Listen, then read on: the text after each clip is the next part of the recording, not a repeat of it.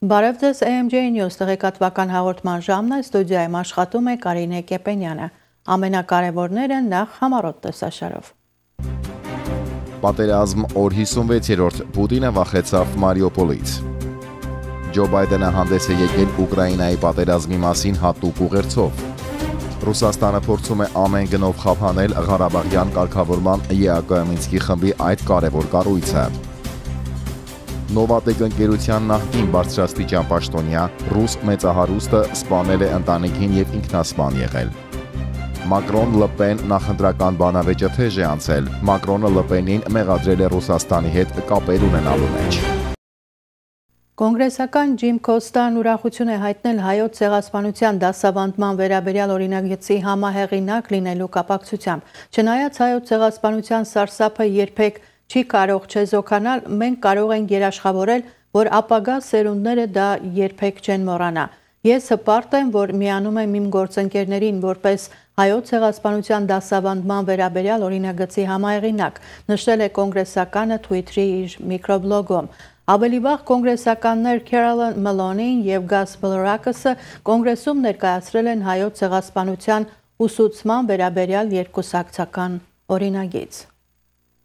Նախկին նախագահ Դոնալդ Թրամփը հրաժարվել է հայտնի բրիտանացի հաղորդավար Փիրս Մորգանի հետ հարցազրույցից այն բանից հետո, երբ նա սկսել է հարցեր տալ 2020 թվականի նախագահական ընտրություններում պարտվելու վերաբերյալ։ Հարցազրույցի դրամատիկ 30 վայրկյանանոց հատվածում հաղորդավարը Թրամփին ասել է, որ ընտրություններն անցել են ազատ եւ արդար եւ որ նա պարտվել է։ Թրամփը ըստ երևույթին բարկացել է եւ Մորգանին անվանել անազնիվ ու ապուշ։ Սակայն հաղորդավարը շարունակել է ասելով, որ հստակ ապացույցներ կան, որ նա պարտվել է ընտրություններում։ Տեսանյութը ավարտվում է նրանով, որ Թրամփը վեր է կենում հեռանալուց առաջ ասում է. «Եկեք ավարտենք այս հարցազրույցը եւ անջատեք տեսախցիկը»։ Սակայն ավելի ուշ նախկին նախագահը մանրամասնել է, որ իրականում տաղավարի չի եռացել եւ ավարտել է հարցազրույցը։ Չորեքշաբթի կապիտոլիումի անձնակազմի տարհանում է իրականացվել բանակի ոսկե ասպետներ պարաշուտային ջոկատի անդամներով ինքնաթիռի պատճառով, որը Մերիլանդ նահանգի Էնդրյուս ռազմաբազայից ուղևորվում էր դեպի Վաշինգտոնի ազգային պարկի մարզադաշտ, որտեղ Պարաշուտիստները պետք է ելույթ ունենային բեյսբոլի խաղից առաջ։ Կապիտոլիումի ոստիկանությունը աշխատակիցներին ահազանգել էր սպառնալիքի մասին, երբ ինքնաթիռը պտտվում էր Կապիտոլիումի շենքերի համալիրի մոտ փակ օթային տարածքում։ Ռադարների տվյալների համաձայն ինքնաթիռը ամբողջ ժամանակ փակ օթային տարածքից դուրս է գտնվել անմիջապես կապիտոլիումի վերևում։ Քննիչները դեռ պարզում են, թե ինչու ինքնաթիռի թռիչքը պատշաճ կերպով չի համաձայնեցվել Վաշինգտոնում իրավապահների հետ։ Գործակալության զրուցակիցները նշել են, որ Ըստ նախնական տվյալների օթաչուն հավանաբար պատշաճ կերպով չի հայտնել թռիչքի մասին կամ համապատասխան թույլտվություն չի ունեցել։ Դաշնային ավիացիոն վարչությունը հետաքննություն կանցկացնի։ Պատերազմ օր 56-րդ Ռուսաստանի պաշտպանության նախարար Սերգեյ Շոյգուն այսօր Ռուսաստանի նախագահ Վլադիմիր Պուտինի հետ հանդիպման ժամանակ հայտարարել է, որ ազգայնական Ազովի մայրաքաղաք Մարիուպոլը վերցվել է վերահսկողության տակ, բացառությամբ Ազովստալ ձեռնարկության տարածքի։ Ուկրաինացի մարտիկներն ու օտար երկրավարձկաններն այնտեղ ապահով փակված են, հավելել է Շոյգուն։ Պուտինը Մարիուպոլում մարտական աշխատանքը հաջող է անվանել եւ խնդրել ապարքեվատրման ներկայացնել ռուս զինվորականներին։ Նա հայտարարել է, որ նպատակահարմար չի համարում Ազովստալի գրոհը եւ հրամայում է չեղարկել այն։ Չարժ է Ազովստալի նկողներ եւ թաքստոցներ ուղարկել ռուսաստանցի զինծառայողներին վտանգել նրանց կյանքը, ասել է Ռուսաստանի նախագահը եւ հրահանգել այդ արդյունաբերական գոտին այնպես արգելափակել, որ ճանճը չանցնի։ Գործարանի հսկայական համալիրի տարածքում մնացել են ավելի քան 2000 ուկրաինացիներ, ովքեր մերժում են զենքը վայր դնելու առաջարկը։ Ուկրաինայի նախագահի գրասենյակի ղեկավարի խորհրդական Ալեքսեյ Արեստովիչը մեկնաբանել է Ուկրաինայի Մարիուպոլ քաղաքի Ազովստալ գործարանի գրոհը չեղարկելու մասին Ռուսաստանի նախագահ Վլադիմիր Պուտինի հրամանը։ Դա նշանակում է հետևյալը. նրանք ֆիզիկապես չեն կարողանում գրավել Ազովստալը, նրանք հասկացել են դա։ Նրանք այնտեղ հսկայական կորուստներ են կրել։ Մեր պաշտպանները շարունակում են պահել այն, ասել է Արեստովիչը, իսկ ռազմաճակատում ամենալարված իրավիճակը եղել է Դոնեցկում եւ Լուգանսկում։ Առաջինում սահմանազատման ողջ գծով հրետակոծություններ են եղել, երկրորդում անդադար գնդակոծություններ եւ կատաղի դիրքային մարտեր։ Բացի այդ հաղորդվում է, որ գիշերը Խարկովի մարզում սովորականից շատ ավելի հանգիստ է եղել։ Գնդակոծության են ենթարկվել Նիկոլաևը եւ Զելենադոլսկը։ Խերսոնի շրջանում, որի մեծ մասը գտնվում է ռուսական զորքերի վերահսկողության տակ, բոլոր շրջաններում պայթյուններ եւ հրետակոծություններ են լսվել։ Զոհերի եւ վիրավորների մասին տեղեկություններ չկան։ Ուկրաինայի օմբուդսմեն Լյուդմիլա Դենիսովան հայտարարել է, թե 878000 ուկրաինացիների ուժով տարհանել են Ռուսաստան, այդ թվում 164000-ը երեխաներ են։ Օմբուդսմենի խոսքով իրեն հայտնի չէ այդ անձանց գտնվելու վայրը, չի բացառում, որ նրանց համար համակենտրոնացման ճամբարներ են ստեղծվել։ Դենիսովան նաև խստորեն քննադատել է Կարմիր խաչի միջազգային կոմիտեին, որը չի կատարում իր մանդատը։ Պատերազմի մեկնարկից ի վեր ռուսական զինուժն Ուկրաինայում կորցրել է 21000 զինվորական։ Ուկրաինայի գլխավոր շտաբի տվյալներով եւս 1000 զինվորականներ գերեվարվել են։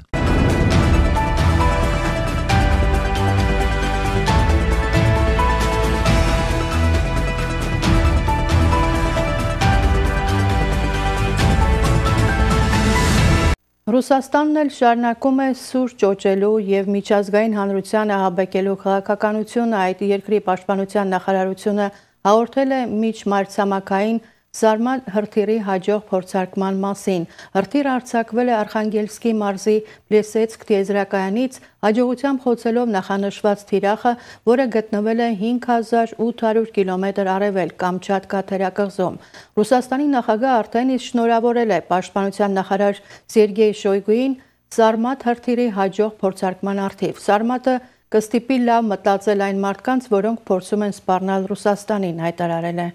Պուտինը։ Ամերիկայի ֆինանսերի նախարարությունն հայտնել է 635 ռուսաստանցիների նկատմամբ վիզային սահմանափակումների ներդերման մասին,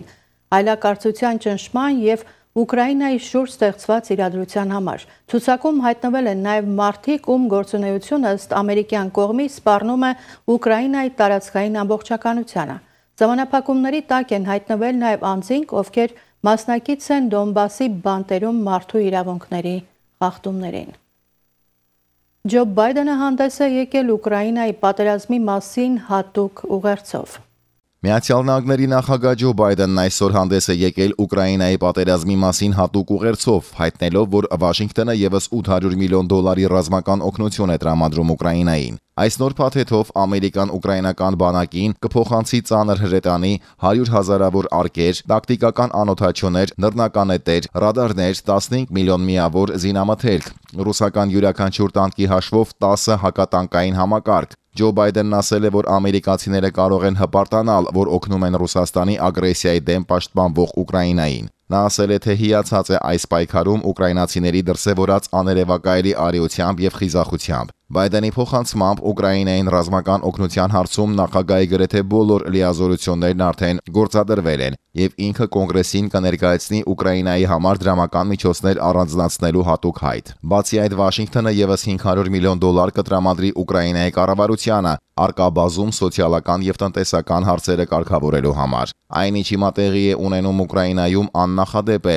երբևէ հնարավոր չէր պատկերացնել, բայց մեր միասնությունն ազդանշան է Ռուսաստանի նախագահ Վլադիմիր Պուտինին, որ նա երբեք չի կարողանա զավթել Ուկրաինան, ասել է Բայդենը։ Ամերիկայի ղեկավարի խոսքով Պուտինը ձախողվել է, քանի որ Կիևն առ այսօր կանգուն է։ Իսկ նախագահ Վլադիմիր Զելենսկու կառավարությունը շարունակում է աշխատանքը։ Պուտինը սխալվեց, նա երբևէ չէր ենթադրել, որ մենք այսքան միասնական կլինենք Ուկրաինայի պաշտպանության հարցում, ասել է Ջո Բայդենը։ Նախագահը Ուկրաինայի պատերազմի հարցով այսօրվա ուղերձում հաղորդել է նոր պատժամիջոցների մասին, որը գործելու է Ռուսաստանի քաղաքացիական նավատորմի նկատմամբ։ Այսօր ես հայտարարում եմ, որ Միացյալ Նահանգներն արգելում է ռուսական նավերի ընդունումը մեր նավահանգիստներում։ Այդպես է որոշվել նաև Եվրոպայում։ Դա նշանակում է, որ ոչ մի նավ, որը նավարկում է ռուսական դրոշի տակ, հանդիսանում է Ռուսաստանի սեփականությունը կամ շահագործվում է ռուսաստանցու կողմից, հետայսու չի կարողանա մոտենալ մեր ափերին կամ խարիսխ գցել մեր նավահանգիստներում, ասել է Բայդենը։ Եվրամիության ընդունած նման օրինակ օրենքը ենթադրում է բացառություններ գյուղամթերք, պարեն, մարդասիրական օգնություն եւ էներգակիրներ փոխադրող նավերի համար։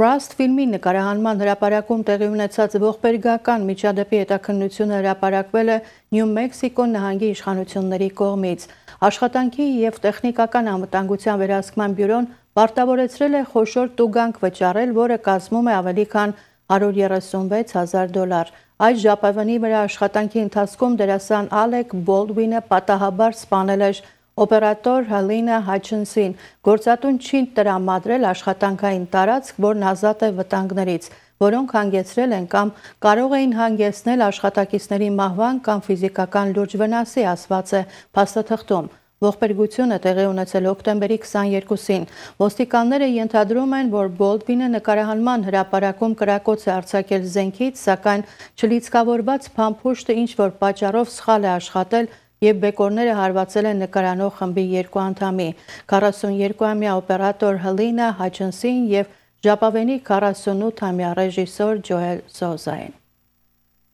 Թաուզենօքսում ոստիկանությունը ձերբակալել է 3 չիլիացիների, որոնք հանցախմբի կազմում կողոպուտների շարք են իրականացրել։ Վենտուրա քաունթի շերիֆի գրասենյակի փոխանցմամբ ահազանգ է ստացվել առևտրի կենտրոնի կայանատեղում կողոպուտի մասին։ Ականատեսը պատմել է, թե մի տղամարդ կոտրում է կայանված մեքենայի ապակին։ Ժամանած ոստիկաններին տեսնելով կասկածյալները փախել են։ Մեկ դեռահասի կարճ ժամանակ անց ձերբակալել են, երկրորդ կասկածյալին Ուգո Կամիո Պերես Մարտինեսին ձերբակալել են արագընթաց հետապնդումից հետո, երբ մեքենան բախվել է մի տան ցանկապատին։ Երրորդ կասկածյալը ձերբակալվել է քայլելիս, պարզվել է, որ Խումբը կողոպուտներ է իրականացրել Մեյսիս առևտրի կենտրոնից։ Ոստիկանները գողացված հակոստի մեծ քանակություն են հայտնաբերել նրանց մեքենայից, կողոպուտներ են իրականացվել հարավային Կալիֆոռնիայի մի քանի առևտրի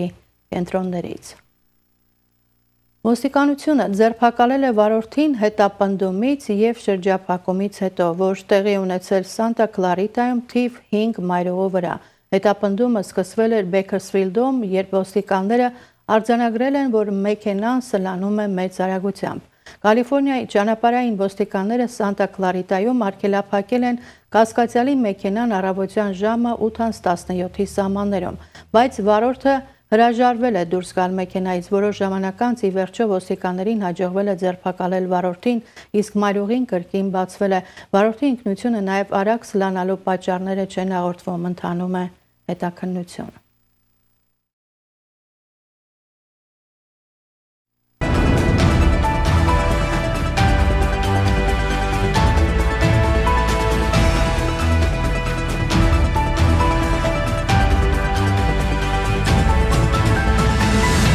Արիզոնայում անտարային խոշոր հրդեհի մակերեսն աճել է 3 անգամ ուժգին քամու հետևանքով։ Կրակն արդեն 24 շինություն է ճարակել։ Նահանգի հազարավոր բնակիչներ խոճապահար լքում են իրենց տները։ Տեղական իշխանությունների փոխանցմամբ անտարային հրդեհի մակերեսն արդեն հասել է 16625 էկրի, ավելի քան Մանհատնի ողջ տարածքն է։ Հրդեհի տարածմանը նպաստում է ուժգին քամին եւ երաշտը։ Քամու պորտկումները հասել են վարկյանում 25 մետրի։ Հրշեջ ծառայությունները չեն կարողանում զսպել կրակը, որը տարածվում է նահանգի հյուսիս-արևելքում Ֆլաքսթավ քաղաքի ծայրամասում։ Վտանգավոր շրջաններից մոտ 2000 մարդ է տարհանվել։ Հրդեհաշիջման աշխատանքներին մասնակցում են մոտ 200 հրշեջ, սակայն ուժերը անբավարար են։ Կրակն արդեն հասել է բազմամյա ծառերին։ Տեղի բնակիչներն ասում են, թե օթանավերը չեն կարողանում անհրաժեշտ չափով պայքարել կրակի դեմ։ Հրդեհն արդեն հասել է ձիաբուծարաններին, Ֆլագստաֆում Կարմիր խաչը տարհանվածների համար ժամանակավոր կացարաններ է ստեղծել։ Հատուկ կենտրոններ են բացվում նաև տարհանված կենթանիների եւ ձիերի համար։ Աղետի գոտուց հազարից ավելի կենթանիների են տարհանել։ Օթերևութաբանների կանխատեսումներով չոր եւ քամոտ եղանակը դեռ կպահպանվի առաջիկա օրերին, ինչը հրդեհի տարածման կհանգեցնի։ Նահանգապետին արդեն տեղեկացրել են իրավիճակի մասին։ Քննարկվում է Արիզոնայում աղետի գոտի հայտարարելու ազգային գվարդիայի ուժերը հրդեհաշիջման աշխատանքներին ներգրավելու հարցը։ Կհանդիպեն գովազդային ընդմիջումից հետո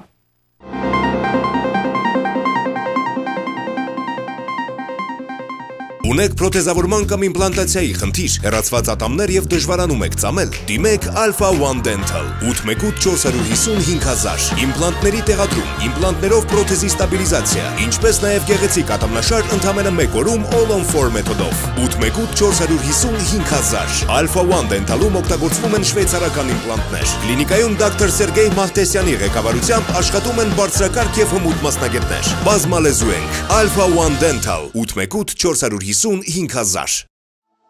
Athena's Cake Studio խմորեղենի վարպետների արդեն 3-րդ սերունդը ձեզ դիմում է աննախադեպ առաջարկով։ Եվրոպական տեխնիկայով եւ լավագույն փորձառությամբ դասընթացներ, որոնց ընթացքում կսովորեցնեն պատրաստել տորթեր, սպանջ քեյքի տեսականի, բեզեներ, կրեմով աշխատանքներ, կրեմով ծաղիկներ, ինչպես ճիշտ եւ ապահով պատրաստել բազմահարկ տորթեր, պատել ֆոնդանտով, ճիշտ հաշվել տորթերի չափսերը։ Կսովորեցնենք կեյք արտի տեխնիկայի գաղտնիքները, պատրաստել թխվածքաբլիթ, մակարոն, մրգային խմորեղեններ, հատապտուղներով եւ մրգային թարթեր, արևելյան չոր եւ թաց խմորեղեններ եւ այլն։ Ունենք դասընթացներ նաեւ մանուկների համար։ Գրանցվելու համար զանգահարեք Athena's Cake Studio, պաստարին երևացող հեռախոսահամարներով։ Թամարա պաղպաղակ միակ պաղպաղակն է, որ 98 թվականից ներմուծվում է Ամերիկա եւ ունի միջազգային բոլոր պահանջները բավարարող համապատասխան վկայական։ Աշխարհի տարբեր երկրներում լավագույն գնահատականի արժանացած եւ 2016-ի տարվա լավագույն պաղպաղակ բնական, համեղ եւ մատչելի գներով պաղպաղակը կարող եք ձեռք բերել բոլոր հայկական խանութներում։ Պահանջեք հայկական պաղպաղակ, Թամարա պաղպաղակ եւ օգտակար եղեք ձեր հայրենակիցներին Հայաստանի մեջ։ Ձեր հիշարժան միջոցառումներին եւ խնջույքներին հրամցրեք լավագույնը, հայկականը, վստահություն եւ բնական համ։ Թամարա, վայելեք գերագույն հաճույք։ Աչքերի ստուգման եւ ակնոց պատվիրելու համար այցելեք Glendale-ում գտնվող Modern Optometry կենտրոն։ Մեզ մոտ դուք կարող եք պատվիրել Gucci, Christian Dior, Versace ֆիրմաների արևային եւ օպտիկական նորաձև ակնոցներ, գունավոր կոնտակտային լենզեր, իսկ արևային ակնոցներն առաջարկում ենք զեղչված գներով։ Modern Optometry կենտրոնը համալրվել է վերջին սերնդի կատարելագործված աչքերի հատակի մանրակրկիտ ստուգման սարքավորմամբ, որը միակն է Glendale-ում։ Modern Optometry կենտրոնից օգտվել ստեղծվելու դեպքում մեդիկալ ունեցող հաճախորդները կստանան անվճար ակնոցներ։ Մենք ընդունում ենք Medicare եւ տարբեր տեսակի ապահովագրություններ։ Տրամադրում ենք հատուկ զեղչեր senior citizen-ների համար։ Մեկ ուրախալի նորություն եւս։ Շատ թույլ տեսողություն ունեցող մարդկանց առաջարկում ենք արդիական էլեկտրոնիկ սարքավորումներ։ Մանրամասների համար զանգահարել Modern Optometry 818 500 8008 հեռախոսահամարով։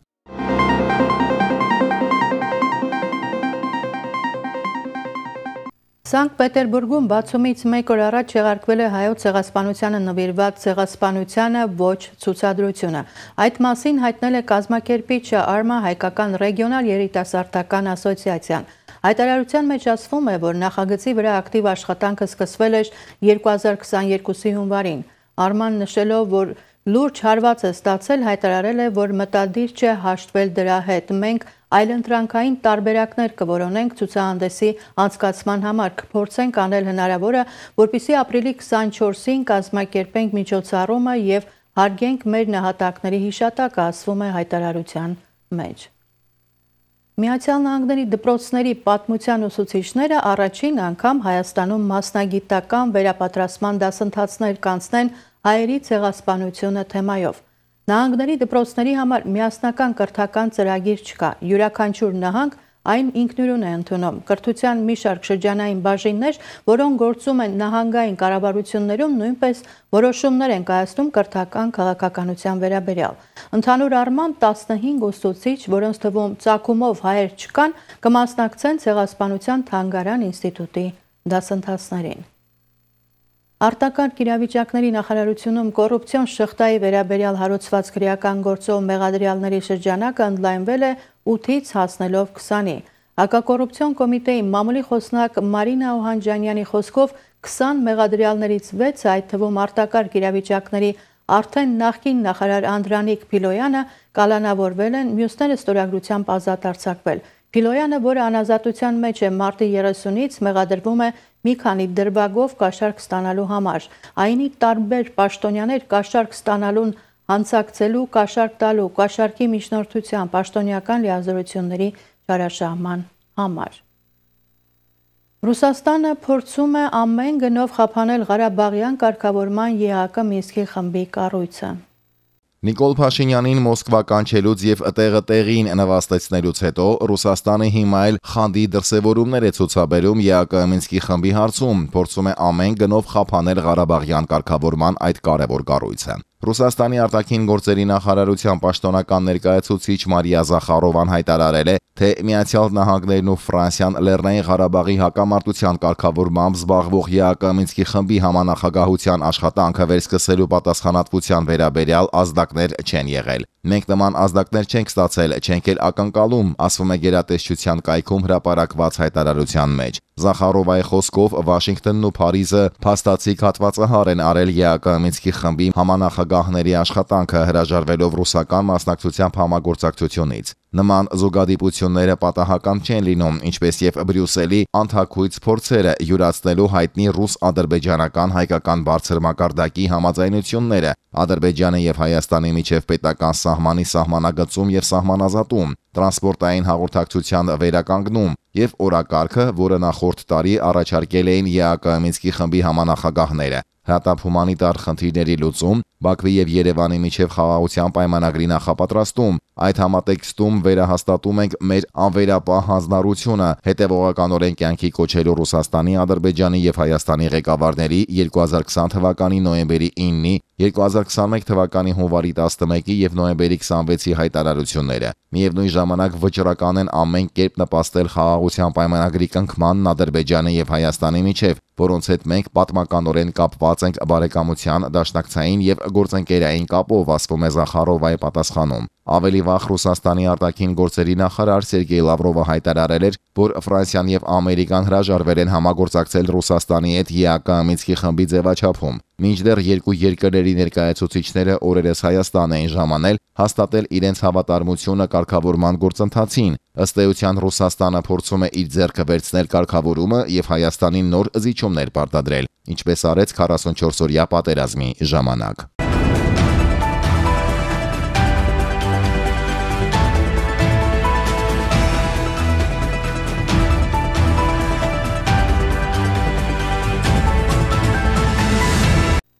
Հնչական կոմիտեի նախկին նախագահ նախկին գլխավոր դատախազ Աղվան Հովսեփյանի գործը մակագրվել է Երևան քաղաքի ընդհանուր իրավասության դատարանի դատավոր մնացական Մարտիրոսյանին։ Տեղեկությունը հաստատել է Աղվան Հովսեփյանի պաշտպան Էրիկ Ալեքսանյանը։ Ֆակտորի տեղեկություններով այս անգամ եւս քրեական գործը մակագրվել է ձեռքով։ Հիշեցնենք Աղվան Հովսեփյանին առնչվող քրեական գործի նախաքննությունը օրեր առաջ է ավարտվել։ Նա մեղադրվում է 6.8 միլիարդ դրամ եկամտի ապօրինի ցակումը թաքցնելու մեջ։ Նովատեկ ընկերության նախկին բարձրաստիճան պաշտոնյա մեծարուս ռուսաստանցի Սերգեյ Պրոտոսենյան նրա կինը եւ դուստրը զոհվել են Իսպանիայում։ Ընտանիքը առանձնատուն էր բարձել Բարսելոնայի մոտակայքում գտնվող Լորետ Դամար առողջարանային ավանում։ Ըստ նախնական վարկածի Պրոտոսենյան կացնով եւ դանակով սպանել է կնոջը եւ դստերը, ինչից հետո կախվելով անձնասպան է եղել։ Կատալոնիայի ոստիկանությունը չի բացառում նաև մեկ ուրիշ վարկած, ըստ որի այլ անձին կարող էին կատարել, ապա փորձել միլիոնատիրոջը վերագրել այդ հանցագործությունը։ Նովատեկը գազ արդյունահանող ռուսական ընկերություն է։ Սերգեյ Պրոտոսենյան դրա նախին գլխավոր հաշվապահն է։ Ենթադրվում է, որ նրա անձնական ֆինանսական միջոցների չափը հասնում է 400 միլիոն եվրոյի։ Վերջին տարիներին նա կնոջ եւ դստեր հետ հիմնականում բնակվել է Ֆրանսիայում։ Մակրոն Լպեն նախընտրական բանավեճը թեժ է անցել։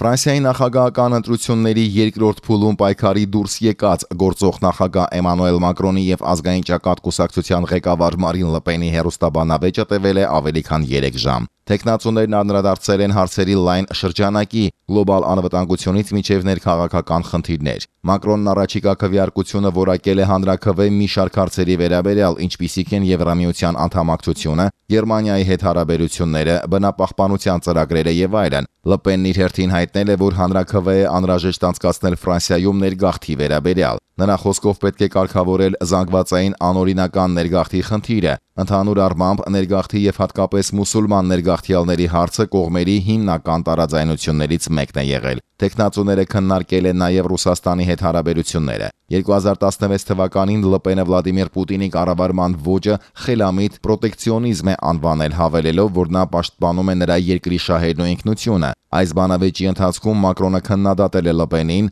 նման դիրքորոշման համար եւ հիշեցրել 9 միլիոն եվրոյի վարկը, որն իր կուսակցությունը ստացել էր 2014 թվականին առաջին չեխ ռուսական բանկից, որը ըստ Մակրոնի առնչվում է Ռուսաստանի իշխանությունների հետ։ Դուք կախված եք Ռուսաստանի իշխանություններից եւ Պուտինից, ասել է Մակրոնը նրան հիշեցնելով, երբ խոսում ես Ռուսաստանի հետ, խոսում ես քո բանկիրի հետ։ Այդ կախվածությունը կարող է բացատրել ձեր շատ գործողություններ։ ԼՊՆ-ը մասնավորապես հայտարարել է, որ հանդես է գալիս Ուկրաինային աջակցելու, նրան հումանիտար բեռների, պաշտպանական սպառազինության, մատակարարման եւ Ռուսաստանին պատժամիջոցների միջոցով ճնշելու օգտին։ Միևնույն ժամանակ ԼՊՆ-ը կասկած է հայտնել Ուկրաինային հարձակողական սպառազինություն մատակարարելու անհրաժեշտության հարցում։ Նա նաև դեմ է արտահայտվել Ռուսաստանից գազի եւ նավթի ներկրման էմբարգո սահմանելուն։ Մակրոնն իր հերթին ԼՊՆ-ին մեղադրել է Ռուսաստանի հետ կապեր ունենալու համար Մոսկվայի նկատմամբ իր կառավարության քաղաքականությունը համարելով ճիշտ։ Հերոստաբանավեճից հետո անցկացված առաջին հարցումների արդյունքներով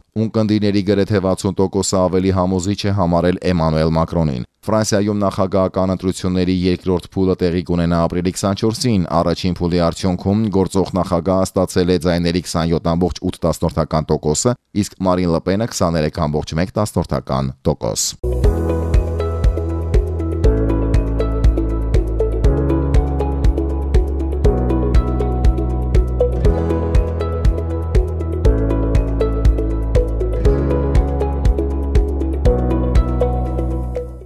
Առնվազն 5 մարդ է զովել Հայիթի մայրաքաղաք Փորթո Պրենսից արեմուտք ընկած թեթև շարժիչային ինքնաթիռի կործանման հետևանքով նշվում է, որ ինքնաթիռում 6 մարդ է եղել, նրանցից մեկը ողջ է մնացել։ Ինքնաթիռը բախվել է Բեռնատարին, ինչի հետևանքով վիրավորվել է մոտակայքում գտնվող եւս 3 մարդ։ Իշխանությունները հետաքննում են միջադեպի պատճառները։ Չինաստանի դատանը մահապատժի է դատապարտել Ամերիկայի քաղաքացի Շադիդ Աբդուլմատինին նրա 21-ամյա նախկին ընկերուհու կանխամտածված սպանության համար։ Իր վճռում Չեյձյան նահանգի Նինգբոմ միջանկյալ ժողովրդական դատարանը նշել է, որ 2019 թվականի հունիսին զույգի բաժանման շուրջ ցակած վեճից հետո ամբաստանյալը պայմանավորվել է տուժողի հետ հանդիպել Նինգբո քաղաքի ավտոբուսի կանգառում, որտեղ նրան սպանել է ցալովի դանակով։ Դատարանը որոշել է, որ վրեժխնդրությունից ելնելով կանխամտածված սպանության համար ամբաստանյալը նողկալի դրդապատճառներ է ունեցել, վճռական մտադրություն եւ դաժան միջոցներ, իսկ հանցագործության հանգամանքները հատկապես վատն են եղել, հետևանքները հատկապես ծանր եւ պետք է պատժվեն օրենքով սահմանված կարգով։ Արտարոց վճի ռահաբեկիչների գործով դիտենք Դավիթ Հողազարյանի պատրաստած ռեպորտաժը։ Իսլամական պետությունը հաբեկչական խմբավորման զինյալներից մեկը վերջերս մեղավոր է ճանաչվել Սիրիայում Ամերիկայի քաղաքացիների պատանդ վերցնելու գործով։ Սիրիայում ամերիկացի լրագրողների առևանգումը եւ սպանությունը քննող Վիրջինիայի դատարանը երկու շաբաթ տևած դատավարության արդյունքում մեղավոր է ճանաչել Դաեշ ահաբեկչական խմբավորման զինյալ Մեծ Բրիտանիայի քաղաքացի Էլ Շաֆի Էլ Շեյխին արևմտյան երկրների քաղաքացիություն ունեցող 26 մարդու պատանդարման մեջ ներգրավվելու գործով։ Էլ Շեյխը Դաեշ խմբավորման հայտնի բջիջներից մեկի անդամ էր։ Բրիտանական акցենտով անգլալեզու զինյալների այս բջիջը պատանդների շրջանում հայտնի էր որպես Beatles։ Էլ Շեյխը եւ Ալեքսանդր Քոթայը ձերբակալվել էին 2018-ին եւ 2020-ին տեղափոխվել Միացյալ Նահանգներ, որտեղ սպասում են իրենց դատավարությունը։ 2021 թվականին Քոթային ընդունել էր իր առաջադրված մեղադրանքը։ Էլ Շեյխը մեղավոր է ճանաչվել 8 հոդվածներով ամերիկացի լրագրողներ Ջեյմս Ֆոլի եւ Սթիվեն Սոտլոֆի, ինչպես նաեւ բուժաշխատողներ Փիթեր Քասիգի եւ Քեյլա Մյուլլերի պատանդարման եւ սպանության գործով։ Պատանդների ընտանիքները ողջունել են դատարանի որոշումն ու ուրախությամբ փաստել արդարության հաղթանակը։ 2012 թվականի առևանգված լրագրող Ջեյմս Ֆոլիի մայրը Դայան Ֆոլին դատավարության մեկնարկին ընդգծել է արդար դատական գործընթացի կարևորությունը։ Ահաբեկչական գործողությունների, առևանգումների եւ սպանությունների մեջ ներգրավված անձինք հազվադեպ են մասնակցում դատավարություններին այն երկրներում, որտեղից իրենց զոհերն են։ North Carolina-ի Wake Forest համալսարանի պրոֆեսոր Ռենդել Ռոգերն ասել է. «Սա նախադեպ է, որը ցույց է տալիս, թե որքան լուրջ են Ամերիկայի իշխանությունները տրամադրված հատկապես նման սարսափելի հանգամանքներում մահացած իր քաղաքացիների սպանությունների համար անմեղ անձանց պատասխանատվության ենթարկելու հարցում։ Ըստ Ռոգնի, Էլ-Շեյխի դատավարությունը հնարավորություն է ստեղծում իրավապահների համար հետաքննելու օտար երկրյա քաղաքացիների նմանատիպ գործերն ու պատասխանատվության կանչելու նրանց, ովքեր ներգրավված են եղել Միացյալ Նահանգների քաղաքացիների դեմ հանցագործություններում։ Այն նաև ճանապարհ է ցույց տալիս արտերկրում ահաբեկչական գործողություններից տուժած մյուսների ընտանիքներին, ովքեր արդարություն են փնտրում։ Ըստ փորձագետների, նման գործերը հետաքննելու համար Միացյալ Նահանգները պետք է շարունակի արդյունավետորեն համագործակցել արտերկրում իր դաշնակիցների հետ։ Այսօր այսքանն էինք նախատեսել կհանդիպենք վաղը։ Դիտեք մեզ AMGA հեռուստաընկերության եթերում եւ դուք տեղեկացված կլինեք։